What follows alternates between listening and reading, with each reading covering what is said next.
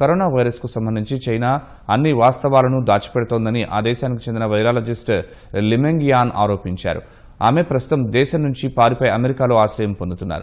ఒక స్పానిష్ పత్రికకు ఇచ్చిన ఇంటర్వ్యూలో ఆమె పలు సంచలన విషయాలను వెల్లడించారు.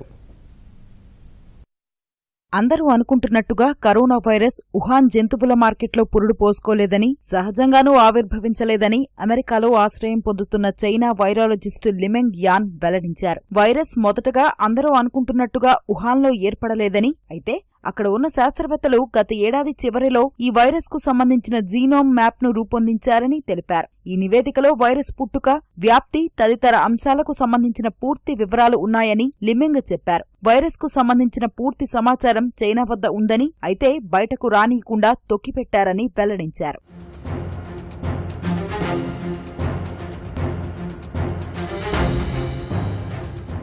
కరోనాపై పరిశోధనలకు సంబంధించి తన సహ ఉద్యోగులతో చేసిన ఉత్తర ప్రత్యుత్తరాలను లిమెంగ్ యాన్ బయటపెట్టారు. వైరస్ బాధితులకు తొలినాళ్ళలో వైద్యం చేసిన వైద్య సిబ్బందికి వ్యాధి సోకిందని వారిలో వైరస్ లక్షణాలున్నప్పటికీ చైనా అధికార వర్గాలు ఆ అంశాలను బయటకు రానియలేదన్నారు. కరోనా బాధితులు చికిత్స పొందుతున్న ఆసుపత్రుల్లో కనీసం పీపీఈ కిట్లు కూడా ఇవ్వలేదని ఆమె ఆరోపించారు. ఈ వైరస్ మొదట బయటపడిన సమయంలో ప్రపంచ ఆరోగ్య సంస్థకు చెందిన సిబ్బంది కొందరు చైనాలో ఉన్నారన్న ఆమె వారిని జాగ్రత్తగా ఉండాలని సూచించగా ప్రభుత్వానికి వ్యతిరేకంగా వెళ్ళవద్దని వారు కూడా తనను హెచ్చరించారని లిమెంగ్ యాన్ తెలిపారు.